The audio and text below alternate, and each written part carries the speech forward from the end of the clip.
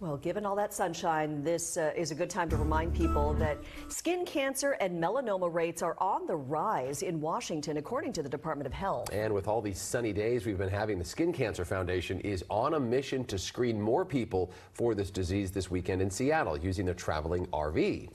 King 5's Angelique Cacaday is live in Seattle with this this morning. Angelique, free cancer screenings. How can people get on board?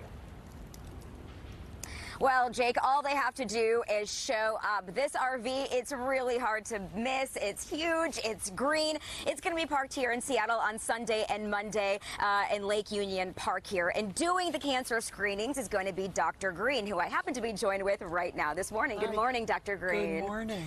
So let's talk about uh, let's talk about skin cancer. This is really almost a public uh, health effort. This this free cancer screening. Why is it so important to have here?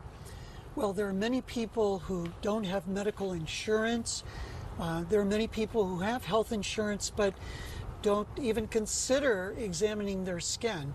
We know that skin cancer is the most prevalent cancer uh, that uh, faces our, our public health efforts. And um, it's important that we recognize that one in five people will develop skin cancer wow. before the age of 70. Yeah. And the incidence of uh, non melanoma skin cancers is on the rise uh, 77% over the last decade, and 27% rise in melanoma skin cancers have been diagnosed.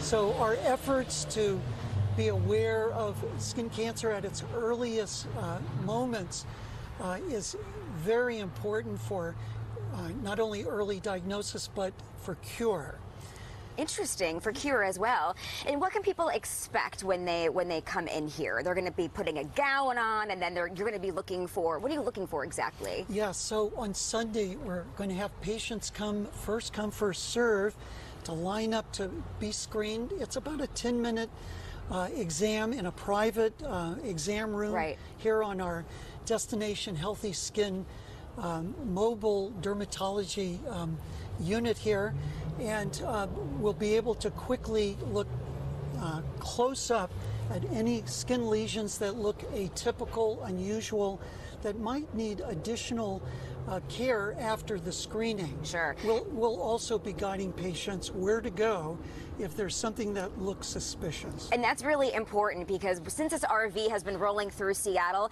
they've identified more than 160 instances of cancer or precancer uh, skin cancer. And so that's really important. It can actually help you, can actually prevent uh, this disease. Well, listen, coming up, we're actually going to be hitting inside this RV here and doing a mock skincare uh, screening. What, what kind of give you an idea of what you can expect if you do come on by today. But again, that's going to be happening Sunday and Monday. So stay with us for that coming up at 5.30. But for now, I'll send it back to you guys in the studio.